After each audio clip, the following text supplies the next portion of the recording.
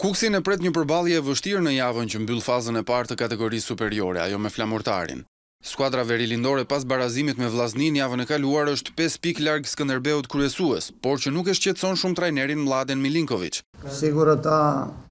Mbase duhet të kishim marrë më shumë pikë në ndeshjet e fundit, por kampionati është i gjatë dhe titulli nuk vendoset tani.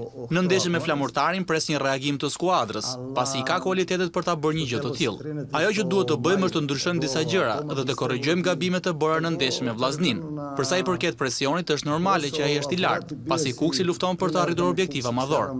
Sulmuesi Elis Bakaj mban të njëjtin qëndrim me Milinkoviç përsa i përket gjendjes së skuadrës që sipas tij në çdo ndeshje hyn në fushë për të fituar.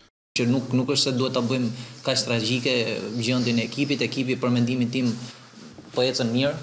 Kemi kemi na arritur të shënojmë shënojmë shumë gola, nuk është nuk është pak të shënosh 16 gola. Okej, okay, jam dakord që kemi pësuar kemi pësuar 6 gola që nuk duhet të kishim pësuar, por megjithatë e rëndësishme është që unë e shoh ekipin e që ekipi është në rritje, ekipi po po po bën mirë, pavarësisht se në kampionat do kesh edhe ulje edhe ngritje ashtu siç do kenë edhe ekipet e tjera. Ne do shkojmë në Vlorë për të marrë atë tat edhe atë fitore që ne vijmë çdo ndeshje për për të marrë tre pikë.